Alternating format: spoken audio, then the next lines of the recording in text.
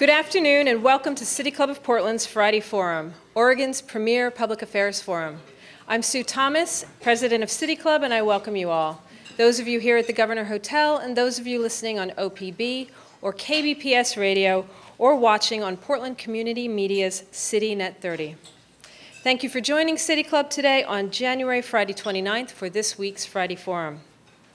Today we will hear an examination of American immigration reform through the immigrants' personal stories. But first, some announcements. In consideration of those sitting close to you and those in our radio and television audiences, I ask that everyone who has not already done so to please silence your cell phones right now. As always, we offer our, our appreciation to our Friday Forum corporate sponsors whose generous financial support make these time-honored City Club luncheons possible. Please join me in offering our appreciation to our winter, winter quarter sponsors, Stoel Rives, the Standard, and West Coast Bank. We greatly appreciate your support.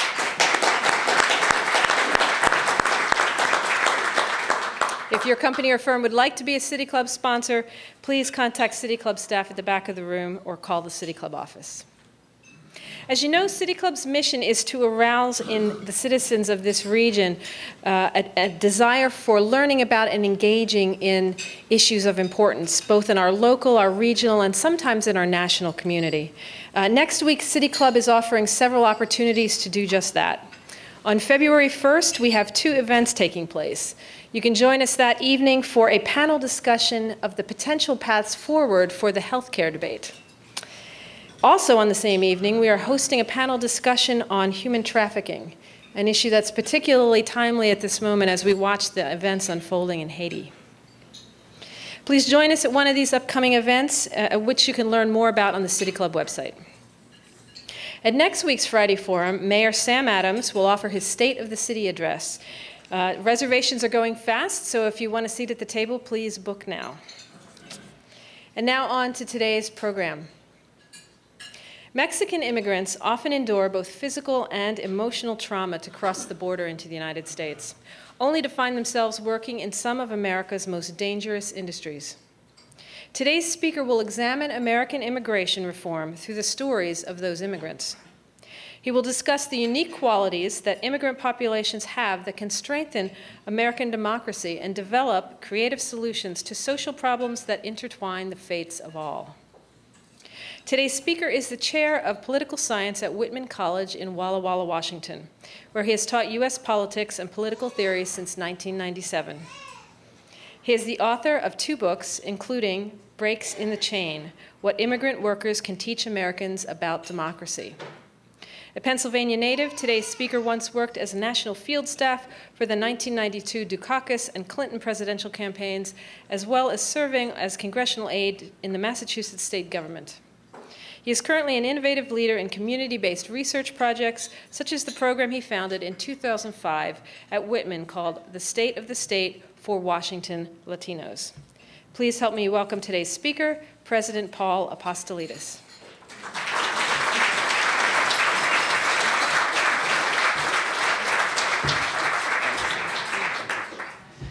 Good afternoon. It gives me great pleasure to be here with you all today. Um, I want to thank Sue Thomas for her kind introduction, um, Patty Tillett for arranging this talk, even though he couldn't be here today, and also my good friend Melody Rose uh, for letting me know about the wonderful work that City Club has been doing. Uh, for quite some time now, uh, momentum has been building for Congress once again to take up the historically vexed issue of immigration reform. Whether or not this happens in 2010, as the administration and some congressional leaders have indicated it will, the latest in a succession of national debates about immigration is well underway.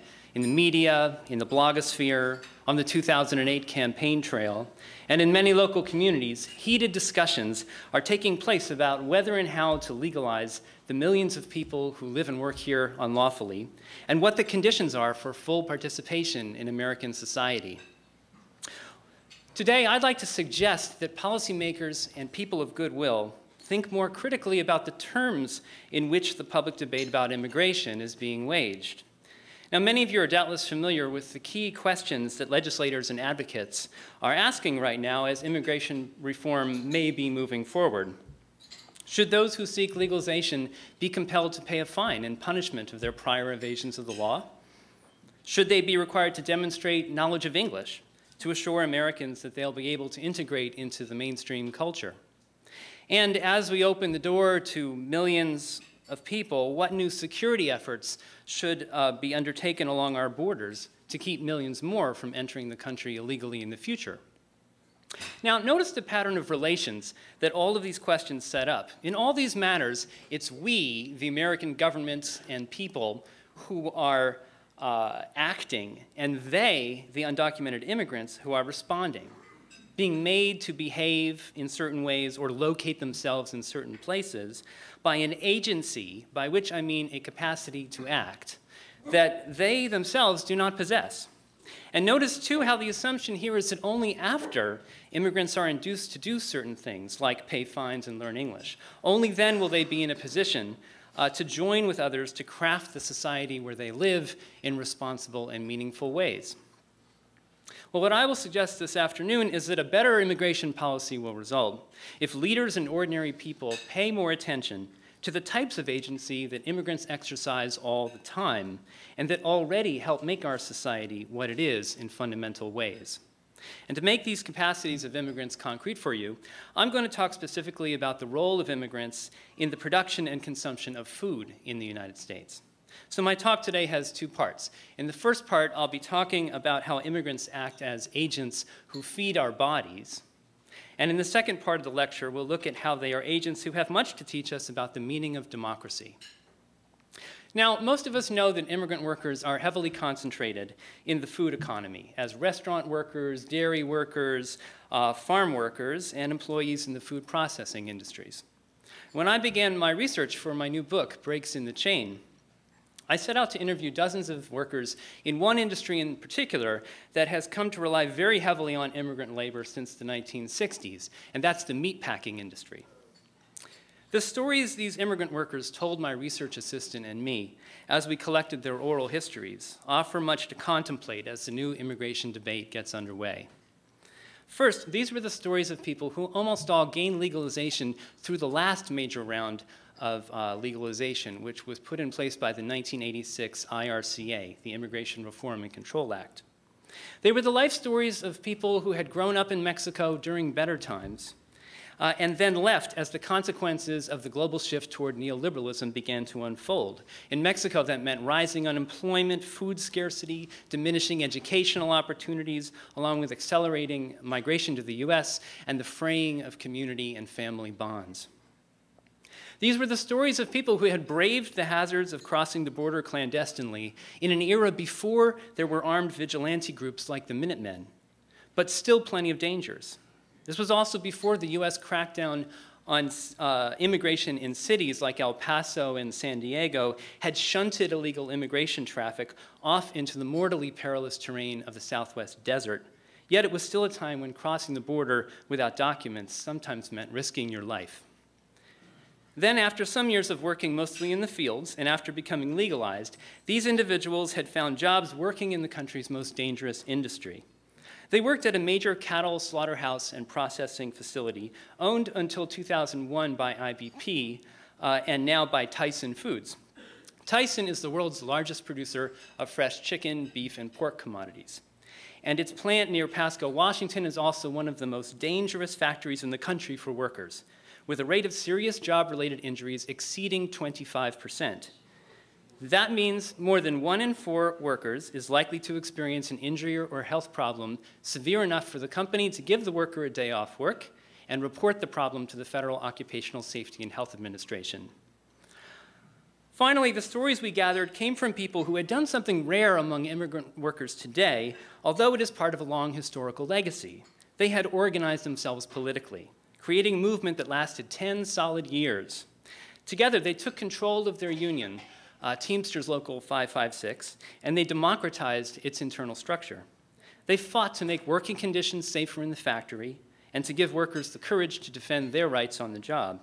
And they also reached out to consumers, to small business people, to students, to religious people, and other members of the public to formulate a, a common plan of action to make meat production safer and healthier for everyone. So, as Congress mulls over a new major legalization process, I think we should be curious about what life has been like for the last cohort of immigrants to go through a process of this sort. And these interviews tell us some important things in that regard. Well, what happened to the people who got legalized last time? Well, much as they had done before, they got their papers, they ended up producing the food that nourishes Americans' bodies under conditions that damage their own bodies. Now let's look more closely at this relationship between the bodies of immigrants and the bodies of more economically and racially privileged groups in the United States today. Now, it's not saying something particularly new to note that uh, immigrants produce much of the food that is marketed and consumed in the United States. That's what growers note, for instance, when they remind us of the apple worker shortages a few years ago up in Washington state, and when they argue that immigration policies have got to accommodate the labor needs of the agricultural industry. But what is not commonly said in connection with this observation is that immigrants do such work at grave consequences to themselves, a cost that the wages they earn do not even begin to compensate. Because along with the market logic linking the fates of food consumers to those of immigrant workers, there is also what I would call a metabolic logic. According to the market logic, immigrants get the jobs, and thus the income from those jobs, and consumers get commodity choices. So, uh, in the beef industry, for example, the people that we interviewed got year round uh, steady jobs with union wages and benefits. And this was a real improvement for them over the um, much less stable jobs that they'd held previously, working in the pear and cherry orchards, uh, working only seasonally, earning low wages in jobs where they had no benefits, and working out under the open sky rather than under a roof. Meanwhile, shoppers at Walmart or Albertsons can uh, walk into the meat section and know that they'll find stacks of packaged, dated, USDA inspected meat products of all sorts uh, from ground beef to strip steaks, ribs, and chuck roasts, and all the rest. But now let's consider what I'm calling this additional relation on the metabolic level that entwines the bodily fates of immigrant workers and more economically and racially privileged meat consumers. The basic point here is that the bodily health, security, and nourishment of middle class white Americans has become directly contingent on the physical and psychological misery of immigrant food processing workers. And the character of this bodily misery is not just a matter of injuries that come from working on the cattle disassembly line, uh, although this is a crucial and disturbing part of the picture. Rather, the exposure of immigrant bodies to heightened risks of mortality and morbidity is a systematic process. It occurs um, over time, it occurs, it extends over many varied locations, uh, and it has multiple components. Passages from our interviews shed light on the different pieces of this debilitating process, the links in the chain of events that brought these workers from villages and cities in Mexico to the slaughterhouse in Pasco. I'm going to read some of those uh, excerpts for you right now. Well, here's how a man whom I call Gilberto Rivera in the book, where I use pseudonyms, described his harrowing experience riding in a van that was packed body to body when he was crossing the border. We had the feeling that we were starting to run out of air. We were breathing, but it was hot air, steam, like in a sauna. The trailer had no air conditioning, it just had a little hole in the floor. And when it was running along, a little bit of air came in. But all these desperate people wouldn't keep to one side so that the air could come in. They all wanted to be in front of the little hole. And then the desperation of all these people started to spread to the others. There were about seven children in there. There were about 15 women. And it didn't matter to anyone whether there were children, whether there were women. What we all were trying to do was to breathe air.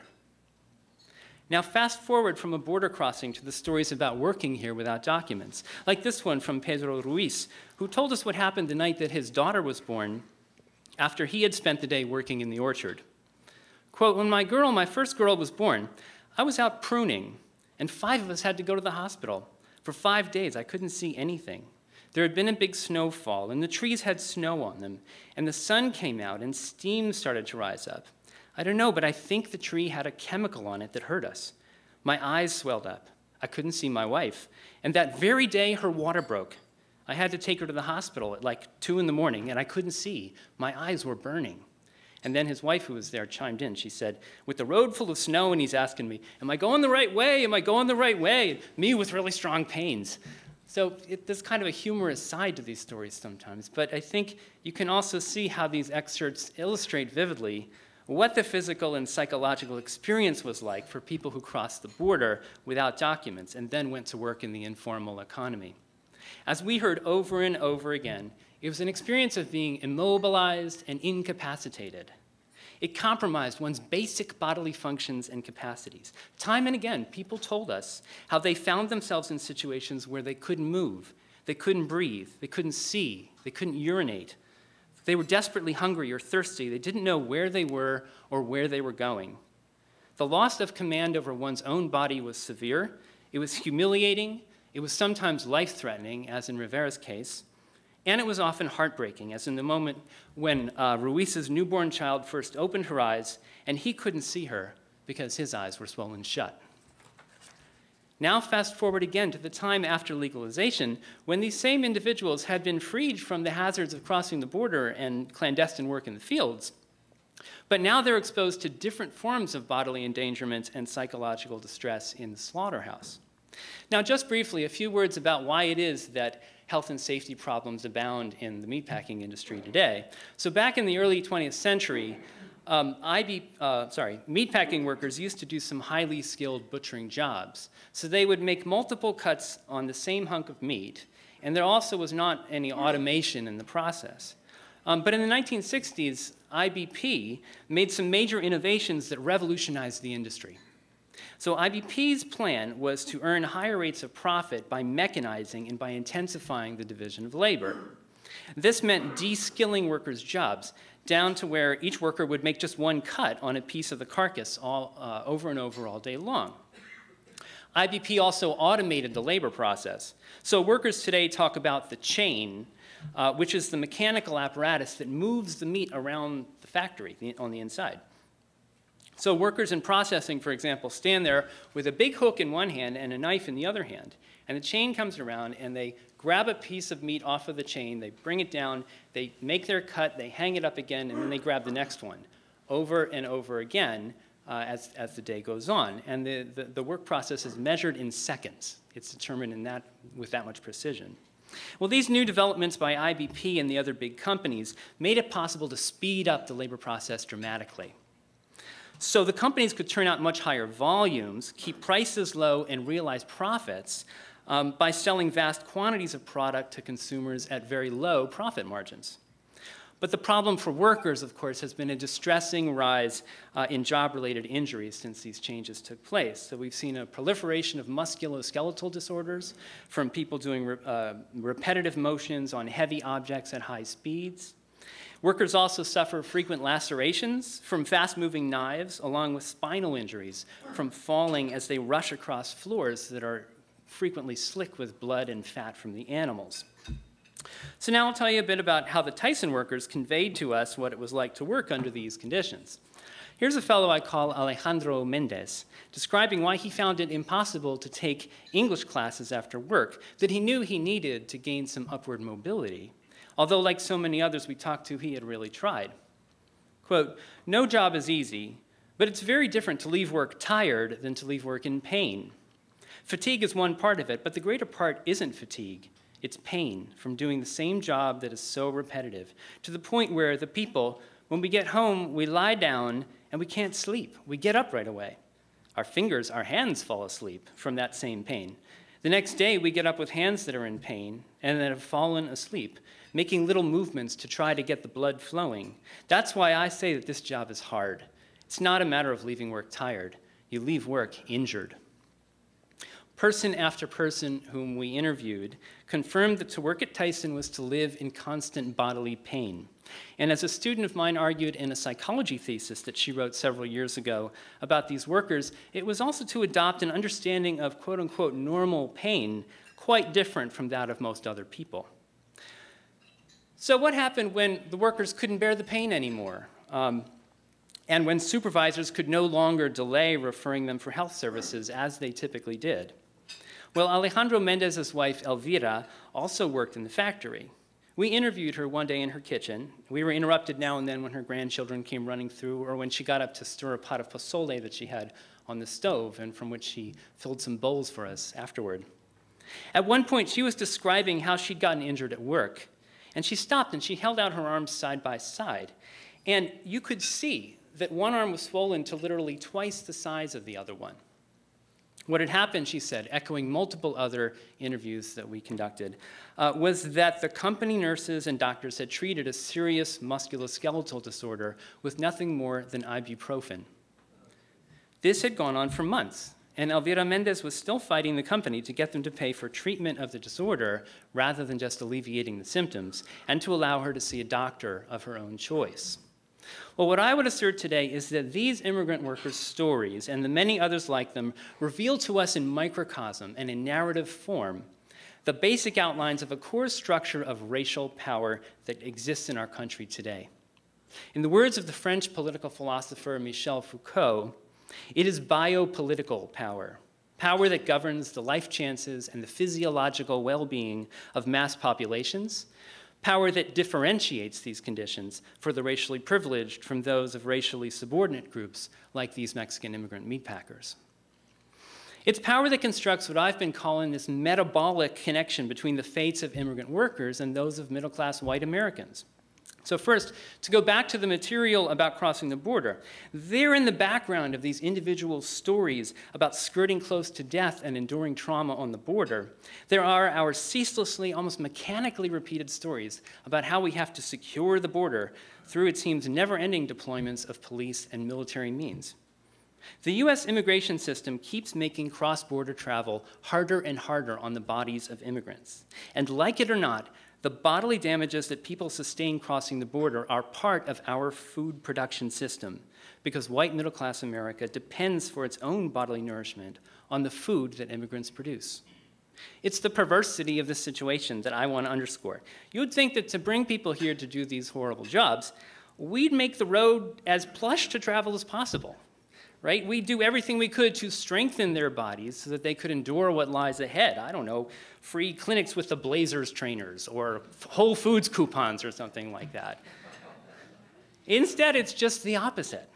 We make the journey ever more tortuous and life threatening so that people can finally make it here only to subject their bodies to a whole new set of ordeals in the slaughterhouse. And likewise, behind the people's stories about their jobs at Tyson, about working in pain, getting injured, and having treatment denied or delayed, even after they have legal residency. Behind these personal narratives, there are a number of wider institutional backstories. One is a familiar story about how there are certain jobs that Americans just cannot or will not do, but that somehow are perfectly fine for immigrants. These are the jobs that carry higher occupational safety and health risks, and that have fewer health and retirement benefits or none at all. And my point is that white middle class America thrives relatively on jobs with better health plans and lower chances of job related injuries because immigrants are channeled biopolitically into all those other jobs. Here's another backstory to the narratives about immigrants' misery in the slaughterhouse. It's the story of getting government off our backs, reasserting the rights of private property, and counting on the market rather than bureaucrats to protect the health and the well being of working people. Well, meatpacking companies and construction firms told that story several years ago when they led passage of a state ballot initiative in the state of Washington to abolish that state's very progressive ergonomic standard. And the result was that the jobs for the people whose stories you just heard lost a chance of getting safer relative to the jobs that white middle class America keeps for itself. The last backstory that you can hear behind the narratives from our interviews is a story the Tyson Corporation loves to tell, and that is central to the way that this very successful company presents itself to the public. It's a story about the American family, sitting down to a Sunday pot roast after church on Sunday morning in a week of hard, earnest work. And you can see this story if you go to Tyson's website. Well, what does that meat symbolize? It symbolizes the solid nature of family life as the cultural underpinning of the nation. And it also represents the abundance of the American economy, the prosperity, the richness, the fat that it produces. So consumer demand for meat products stays high, and the industry continues to churn out um, high volumes of meat at low profit margins. But this means that immigrant workers like Elvira, Alejandro, uh, Gilberto, and Pedro uh, as another worker, worker put it, are working themselves to death so that the pot roast can make it to the Sunday dinner table.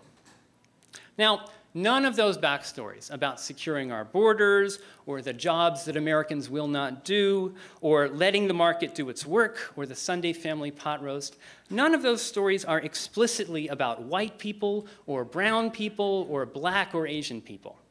And yet they all fasten together a social metabolic relation in which white middle class bodies gain vigor and protection through the heightened exposure of brown immigrant bodies to death, injury, illness, and trauma.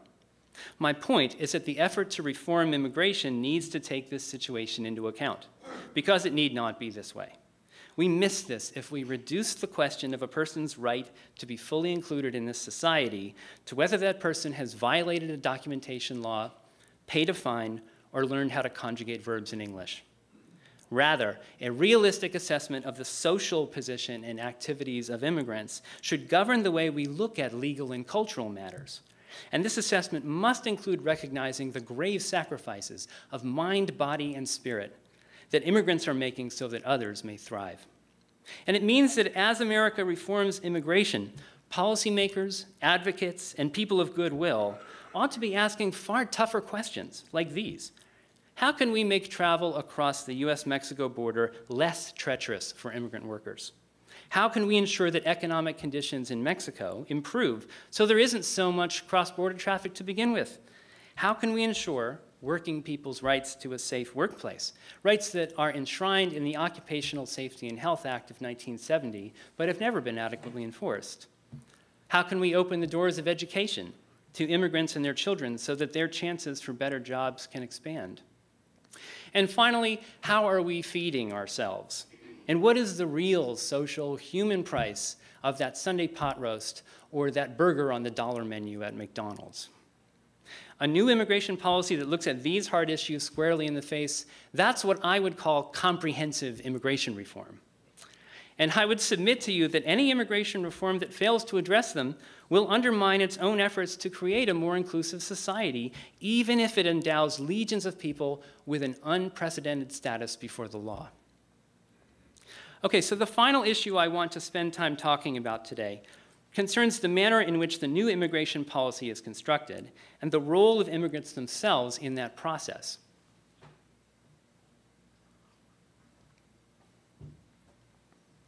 Given that the subtitle of my book, uh, Breaks in the Chain, is uh, What Immigrant Workers Can Teach America About Democracy, you might well suppose that I have something to say about this.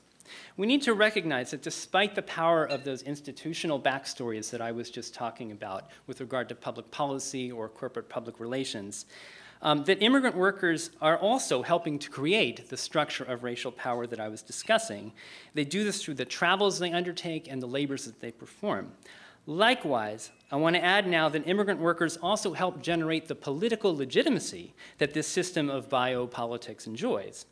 And in turn, they can supply a crucial part of the political momentum to change it, although they cannot do so on their own. I want to close by reflecting on the politics of narratives, and I mean here the narratives of immigrant workers. One of the fascinating things for me about sifting through the transcripts from the interviews was to discover the subtle variations and the major patterns in the workers' accounts of their situations. You've already heard a couple examples of one of those patterns. So think back to Gilberto Rivera's story about nearly suffocating in the van as he was being taken across the border. Well, this is a good illustration of one very common current in the narratives. It's a story about immigrants who are rendered completely helpless by overwhelming, perilous forces uh, that they can neither foresee nor understand nor do anything to affect. And many people spoke about working at Tyson uh, as though this too meant being just a kind of plaything of blind fate.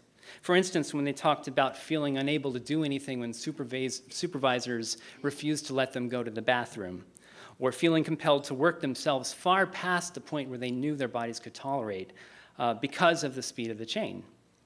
The politics of this narrative frame, I would argue, is that it encourages a kind of despairing adjustment to the biopolitical system because an alternative becomes literally unimaginable. So there's a bit of irony here. I'm saying that even when workers represent themselves as being totally without any capacity to affect the world around them, precisely by talking about themselves in that way, they're acting on the world in ways that have real effects. But there were other different kinds of stories the workers told about their circumstances on the border, in the factory, and in the movement they organized. So listen to another excerpt from our interview with Elvira Mendez when she told us about a problem she ran into while a coyote, or a human smuggler, was taking her across the border with her teenage daughter and several other children. Quote, they put us in there in the car, my oldest daughter and me in the front, right with the driver. But at night, my oldest daughter told me, Man, uh, Mom, this man is grabbing my leg. It frightened me. I couldn't tell him, Stop, let me out. I couldn't say anything because I thought if I said something to him, maybe he would take us to a different place. But at a gas station where we stopped, I told her, Get out, my daughter. I sat down myself in the middle. And here in the interview, she says, Excuse this word, I'm going to say a bad word, but I won't say it because we're on the radio. Uh, she said, I sat down there and I said, okay, you insert profanity about unsavory activities by the guy's mother. Uh, yeah, you just go ahead and grab my leg. No way they were going to touch me, who's already an old lady. And from then on, things were calm. End quote. now, what's remarkable about this little story um, is that it starts out as a tale of helpless victimization, but then the narrator turns the tables. And she uses her body and her voice in startling ways to neutralize the danger and to protect herself and her children. So, in tension with what you might call the dominant storyline about being subject to the whims of fate, um, there was this other narrative current where people took small but significant steps to deal with a threat that was facing themselves or others, uh, whether it was their loved ones or even total strangers. Steps like standing up to this coyote, or walking or dressing in a certain way so as not to attract suspicion, or even controlling one's own fear internally in a stressful situation. Another story that illustrates this other frame concerns a very mundane but persistent health hazard at the slaughterhouse. Um, so Jorge Hernandez's job at Tyson was to remove the cow's filthy hides after they were slaughtered and then wash them in tubs that were supposed to be treated daily with salt and chlorine. But, said Jorge, quote, they only put it in once a month. And all the workers there get hives. The cows are animals that who knows what state they're in when they arrive. And that's what makes you break out in rashes, in hives on your arms. But every break, I put alcohol on my arms. Um, or if I don't, then when I get home, I put on creams and salt water, and I don't get an infection. And I tell everyone at work, and I tell them what to do so they don't get hives and rashes and all that. Now, what interests me here is not just what Hernandez is doing, but how he's talking about it. Um, when Hernandez talks about this daily ritual of applying alcohol and skin creams to his body, he's talking about himself in a way that emphasizes his own ability to act positively to affect the world around him, despite the massive skewing of power in the company's favor. And he's also presenting himself as an agent who can lead others toward developing their own similar kinds of agency in the workplace. Now, this kind of uh, this is kind of double edged because we might think, oh, he's just rationalizing his own powerlessness to get the company to do its job. And we might think the same about workers who told similar stories, for example, about leaving the line to go to the nurse when they were injured, even though the supervisor forbade them. But as I think you can see, even if there is some rationalization in such stories, it doesn't take away the potential that they invoke, uh, evoke that immigrant workers could teach themselves and one another to act on their own behalf to address problems at work. And it suggests that this potential for agency is there not just in these kinds of small, personal, run of the mill situations, but maybe also on a much wider and more consequential social plane. Well, Realizing this potential was exactly what the workers' union movement accomplished. That is, the movement translated the capacities that workers were able to exercise individually into new collective capabilities that posed the real prospect of changing policies and backstories on the institutional level. They gave voice to this notion of uh, collective power built on individual responsibility and agency when they invoked this slogan that they had come to use in their movement. And in Spanish, the phrase was, Nosotros somos la unión, which means we are the union. Elvira Mendez explained what this resonant slogan meant when she was speaking critically about some of her coworkers who hadn't really gotten the message yet about who had the power to change conditions at the plant, and how this wasn't simply the job of the union's principal officer, who was a remarkable woman named Maria Martinez. Elvira said, They think because Maria is the principal officer of the union, they think she is the union. She's the principal officer of the union, but we all are the union. Not Maria, not even the shop stewards, all the teams of workers. You always have to do your part if you want things to turn out right. It's like a home. I could come to my home and just stay there sitting around all the time like I have nothing to do. Let's say my children are there. If I set the example of standing up to do something, they've all got to get up to help. So, what did the workers do when they got up to help at Tyson? Well, they pulled off the largest uh, wildcat strike in the meatpacking industry in at least the last 25 years in 1999 when 1,500 workers walked off the job. They also launched a wage and hour lawsuit um, to get the company to pay them for the time that they spent putting on and taking off their elaborate protective gear. And they won $8 million in back pay in what was the first decision, a unanimous decision by the Roberts Supreme Court. And even more impressively, they claimed for themselves the position of people who were responsible for the well being of society in general. They claimed this responsibility by partnering with other groups in the local community and beyond, even as far away as Japan. Um, uh, during contract negotiations in 2004, for example, they proposed that workers be given the right slash responsibility to halt the production line, not only if a serious hazard to a worker arose, but also if they identified a clear danger to consumers. Now, given that a key phase of this struggle occurred during the outbreak of mad cow disease, do you remember that? Five years ago? six years ago, and the closing of global markets to American beef, it's not hard to see how real general social benefits could follow from meatpacking workers self consciously and self confidently taking on the role of being the people on the front lines uh, of ensuring food safety in this industry.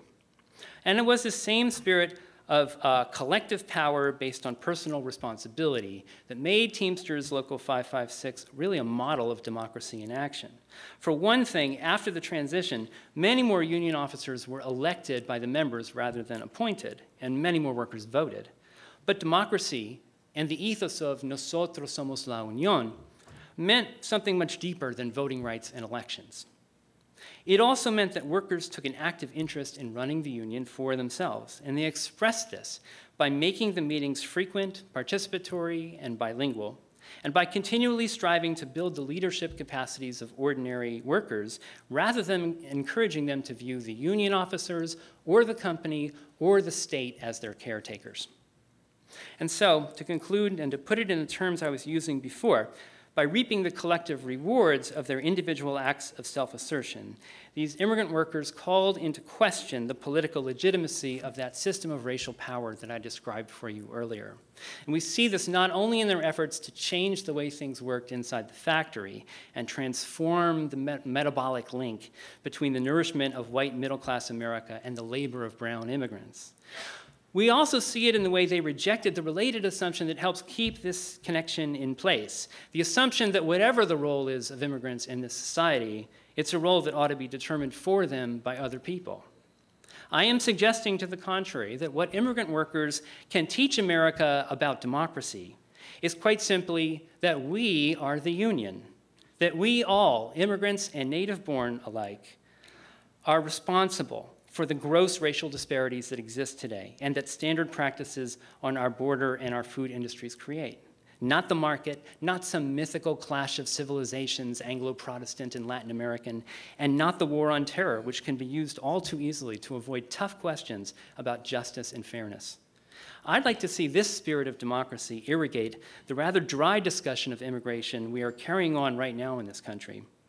To do this would mean more deliberately bringing into the debate the organizations with which immigrants speak and act for themselves, recognizing the abilities of immigrants to deepen American democracy and to envision creative solutions to social problems that intertwine the fates of all of us. Doing this for many immigrant workers would oddly mean placing citizenship before legalization. But that's perhaps as it ought to be. If by democracy we mean not a given factual state of affairs to be legally administered, but rather an ideal that we have yet to reach, and that demands engagement politically if we really want to achieve it. Thanks.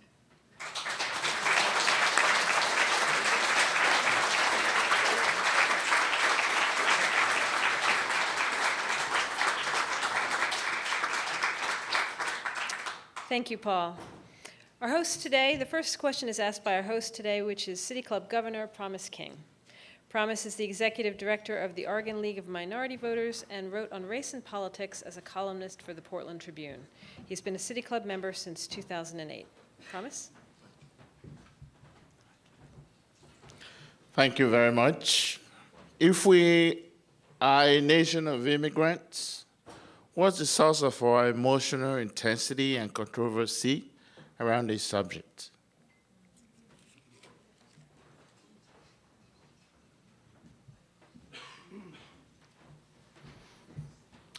Well, I think the notion of, of our being a nation of immigrants uh, often comes out and comes into play as a way of uh, kind of covering over the really deep divisions that I was just talking about that, that exist today. The fact is that in some ways, uh, things are very similar for today's immigrant groups to, those, to the ways that they were for prior immigrant generations, uh, like my own Greek forebears.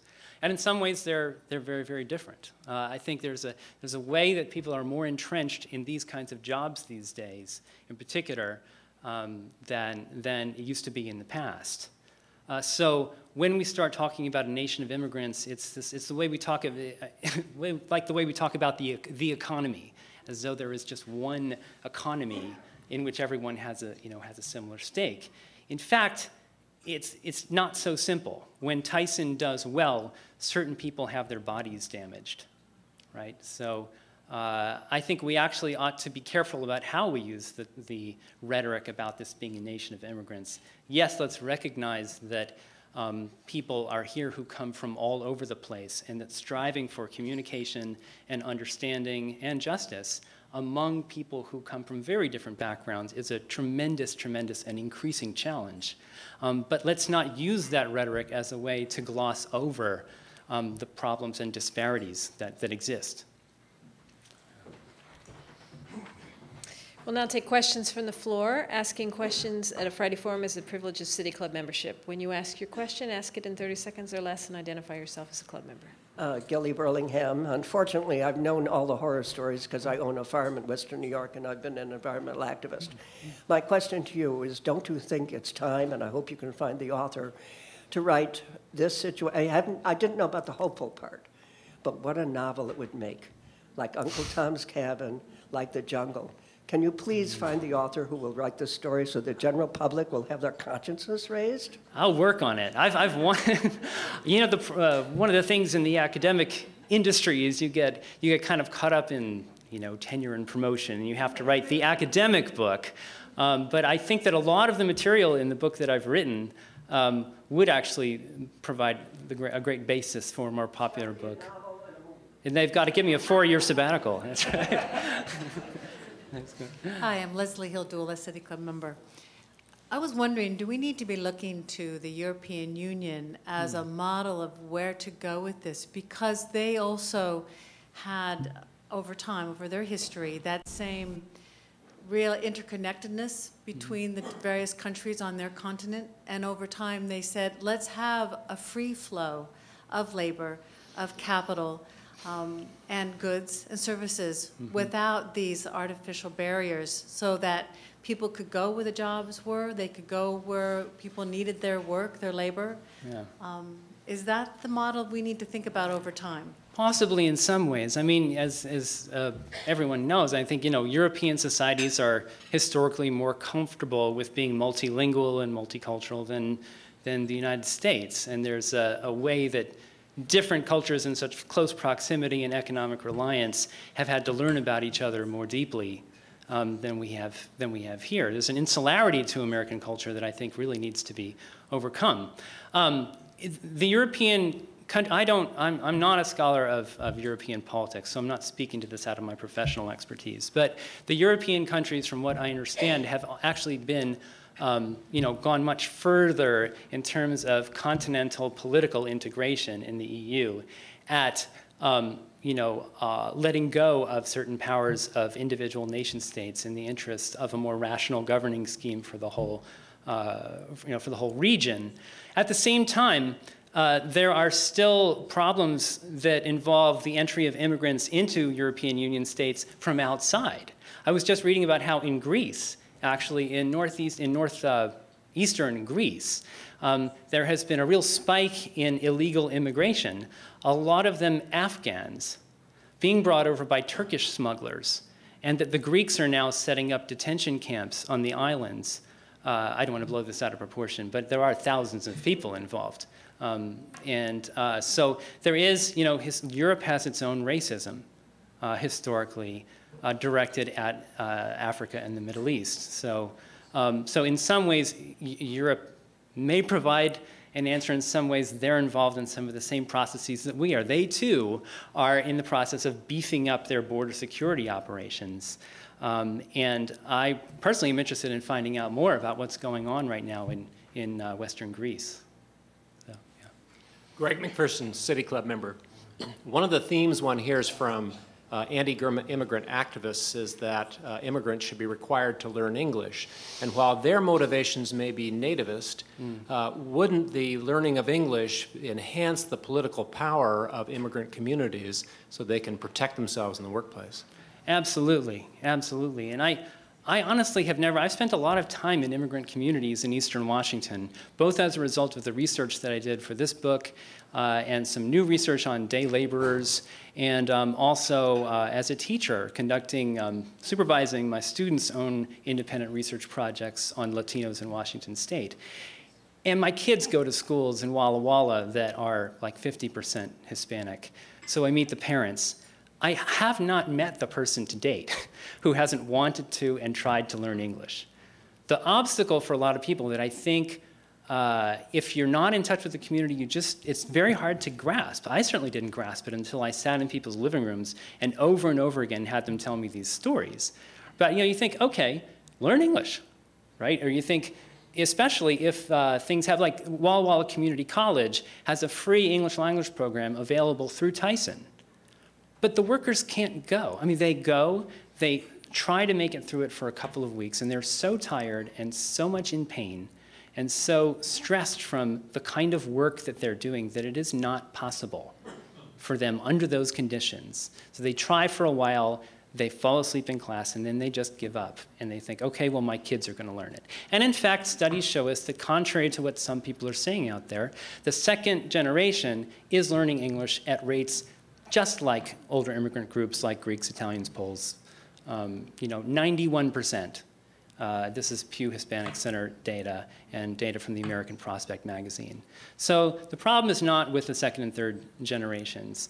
Uh, and I think it's also not a problem of motivation. The problem is structural. It's what, what are the day-to-day -day conditions of people's lives? And that's, I think, the value of this kind of research that really gets into people's um, individual stories and spends the time that you need to get behind those, those numbers. Bob Geary, member. Um, before I ask my question, could I just refer that the typical Mexican immigrant is illiterate in his or her own culture? Um, before I ask my question, also, I should identify myself as a retired U.S. immigration officer. In 1986, you mentioned that law. The Denver district where I was employed could say that three out of four applicants submitted a fraudulent application. I happen to be the son of immigrants. Uh, my question is what kind of thinking does a man or woman have who would enter a country illegally? Well, these interviews show a lot about what the kinds of thinking are that people have. Some of them think very carefully about the welfare of their children and the, the ability of their children to have enough food to eat, a house to live in, a school to go to. Um, when the economic crisis hit in Mexico in the 1980s, um, there was a kind of a mass population shift of children out of school because families couldn't afford to feed themselves without more child labor. Virtually all of the people that I talked to had worked from the time when they were two years old or up. Uh, not something that I grew up with growing up in Philadelphia. um, but that was the norm for these folks. I also would take issue with your comment. I mean, I guess you know what you say is based on your work experience and your contact with you know with uh, probably numbers, great numbers of people. In my own research and my own uh, experiences with, folks, uh, I, I would not, not say that people were illiterate in their own culture, nor even that there was just one single Mexican culture. One of the interesting things about this group of workers is that they, they, kind, they came from all over Mexico. Uh, you often have the pattern of immigration where people from just you know, one small community in Michoacan or um, Hidalgo or whatever it is come and kind of relocate in one particular town in the United States. And what was fascinating about these folks is that they really did kind of evolve a pan-cultural movement. They were from all over Mexico. Some were from a more indigenous background, some from a more Hispano background, um, and were able to forge this kind of collaborative ethos. So that's what I, th I think people think about the, the, the, the, future of their families. They think about their own individual ability to work as hard as they want to. I had a guy, uh, the guy, one of the guys I quoted here, who said that he traveled all around Mexico looking for uh, sufficient work um, and uh, came because he wanted to work harder. Uh, so um, that would be my answer to your question. Thank you. Carl Twombly, City Club member. Um, couldn't a lot of the problem be solved by reducing the amount of influence that large corporations have to prevent exploitation of workers uh, in general and focus on keeping workers safe and healthy in all jobs? Uh, yeah, and I think that's a, that's, that point is, is well taken. I think um, and I think actually that people might not like to hear this a lot of the time, but unions are really important for that to happen. The National Council of La Raza just issued a very, very forward-thinking report on health and safety problems at work that Hispanic Americans suffer disproportionately uh, relative to the rest of the population. And it's a really interesting report. You should check it out at nclr.org um, because it talks about the bigger picture, the bigger context for these health and safety problems that I've been talking about with you today. Um, at the same time, they didn't say anything about unions. And the fact of the matter is that without this union movement at this Tyson plant, uh, there would not have been any progress, even temporarily, uh, for workers there in terms of um, the work becoming slightly more um, you know, conducive to the, to the health of people's bodies, even with the union there. And this sort of you know, cultural sense that workers really could do something for themselves, not just individually, but as a group, um, you know, there were still plenty of problems. Um, it seems like the workers were exploited because they're less likely to complain because of their legal status. So right. it's a, a, way of taking advantage of workers. Sure. Both here and in, and like you said, in Europe, the same problems. They're just taking advantage of whoever the latest group is they can take advantage of. Yeah. But remember, this is, these are workers who legalized in 1986 and didn't go to work in the slaughterhouse until afterwards. So it's not just a question of being undocumented, it's racial.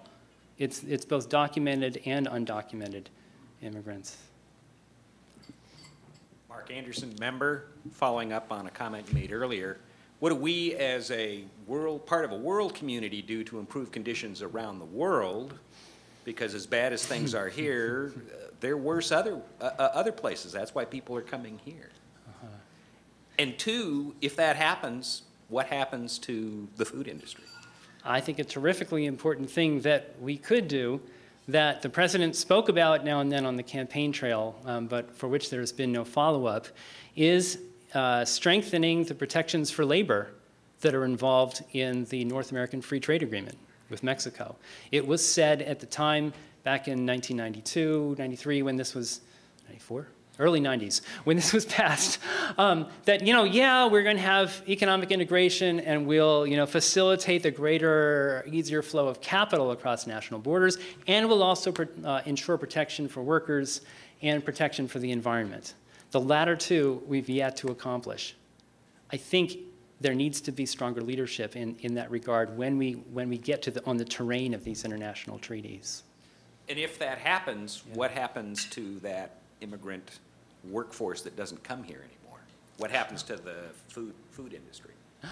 Well, the food industry might, um, might need to, uh, this is just speculation now, but they might need to uh, make the jobs safer and more attractive to uh, domestic laborers. It really was a white, male, family earner, uh, middle class occupation up through the 1950s. It was, a, it was well, the work was well regarded, and the fact is that the, the bottom fell out of wages in the meatpacking industry between 1950 and 1975. Yeah. Ted Kay, City Club member. The current decennial census must deal with the very real challenge of potentially undercounting certain segments of our population, mm. such as illegal aliens. The various remedies are very politically charged and debated. Would you comment on this issue from your perspective, please? You mean uh, how best can the census make sure that it does count the number of people who are here yes. illegally?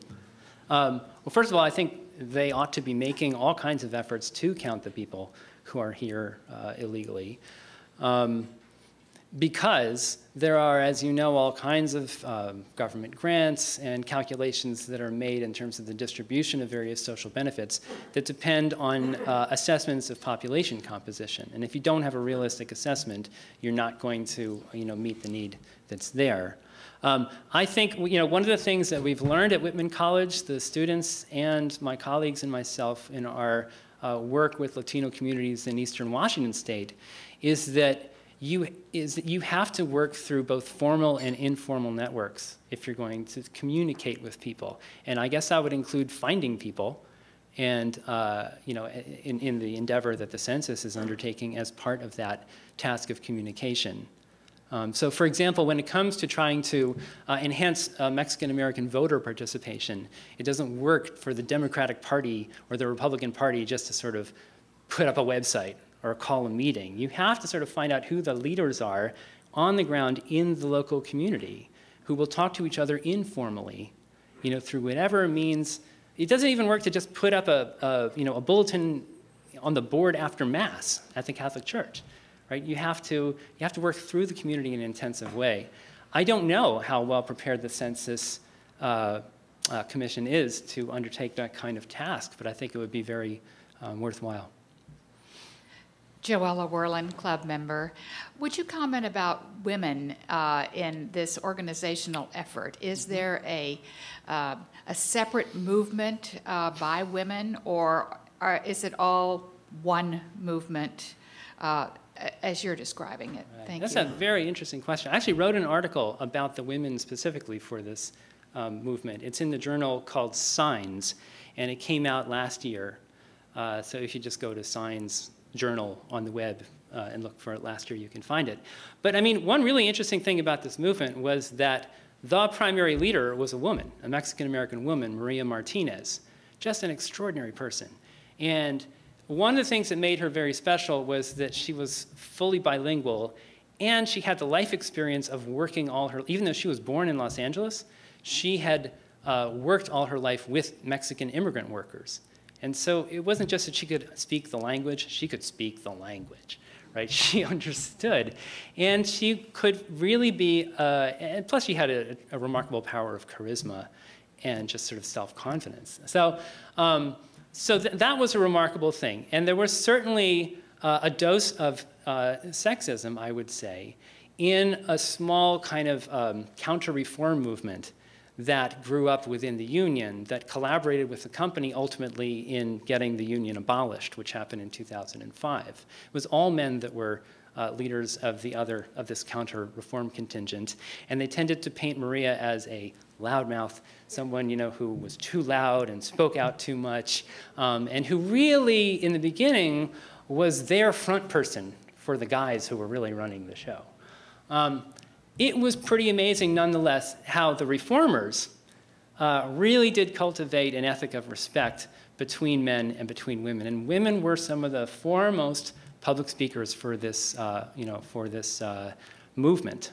I call it a movement, not just a union, because from 95 through 99, it was an informal uh, gathering of workers, regular gatherings in public parks and in Maria's basement, um, before they actually um, waged an effort to gain control of the union's formal apparatus.